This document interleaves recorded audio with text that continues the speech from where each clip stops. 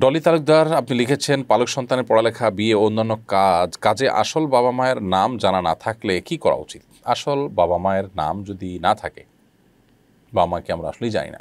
তাহলে সেক্ষেত্রে যেহেতু তার কাজ চালাতে হবে, সেহেতু বাবার নাম আবদুল্লাহ, মায়ের নাম ওইরকম কিছু একটা মানে যে আল্লাহর বান্দা, এরকম কিছু একটা দিয়ে কাজ চালানো যেতে পারে। আর যদি আপনাদের নিজেদের নাম দিয়ে আপনারা কাজ চালান, সেক্ষেত্রে তার বাবা মা যে আসলে ভিন্ন কোনো ব্যক্তি, তাদের নাম জানা যায়নি বা পরিচয় জানা যায়নি, সে বিষয়টা হাইড করা উচিত হবে না।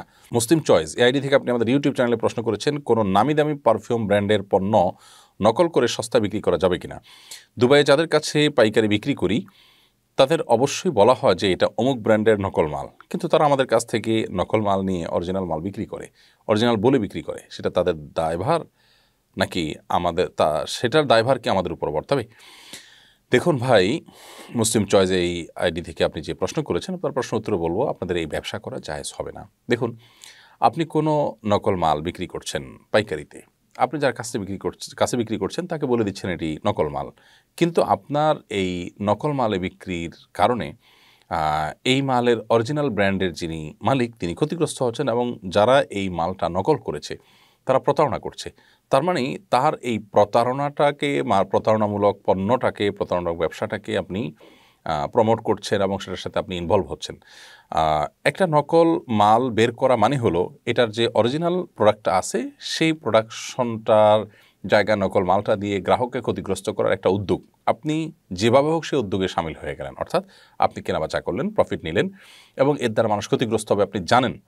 তারপরও আপনি সেটি বিক্রি করছেন, এটা কোনো অবস্থাতে জায়জ হতে পারে না। বিশেষ করে যখন আপনি যার কাছে বিক্রি করছেন, তিনি অরিজিনালগুলো বিক্রি করবে, আপনি জানেন, তাহলে সেক্ষেত্রে এরকম মাল বিক্রি করা আপনার জন্য জায়জ হবে না। আমি জানি এই ধরনের বিষয়গুলোকে অ্যাভয়েড করলে ব্যবসা বাণিজ্য করা অনেক কঠিন হবে, কারণ আসলে আজকাল এ ধরনের অন্যায় পরিহার করে, অন্যায় পরিত্যাগ করে অন্যায় থেকে বেঁচে থেকে ব্যবসা করা খুব টাফ কিন্তু তারপরেও সেই কঠিন কাজটাই আমাদেরকে করার চেষ্টা করতে হবে। আল্লাহ তালা তৌফিক দান করুন। এমনি দিহান আপনি লিখেছেন, বর্তমান চাকরির বাজারে প্রতিযোগিতা খুব বেশি। পড়াশোনা শেষ করে চাকরি পাবো কি না জানি না।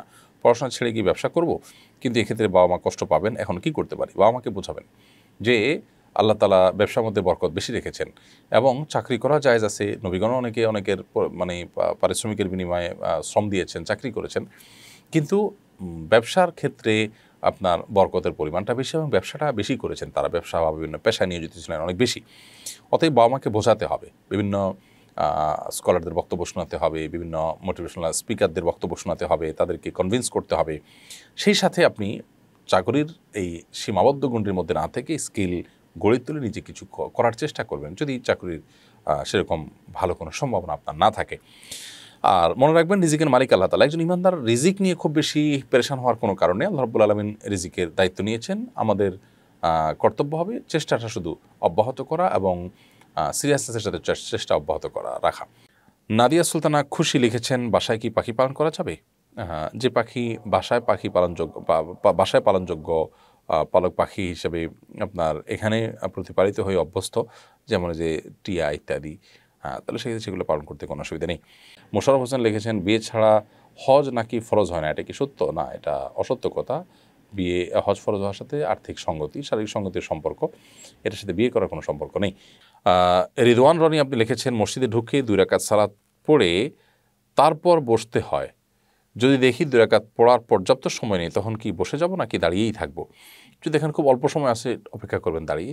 কারণ নবী সাল্লাহ সাল্লাম নিষেধ করেছেন মসজিদে ঢোকার পর সালাদ দুই টাকা সালাত করা ছাড়া বসতে।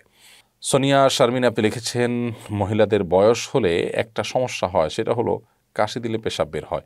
নামাজে এমন বারবার হলে করণীয় কি? অবস্থায় নামাজ হবে কিনা?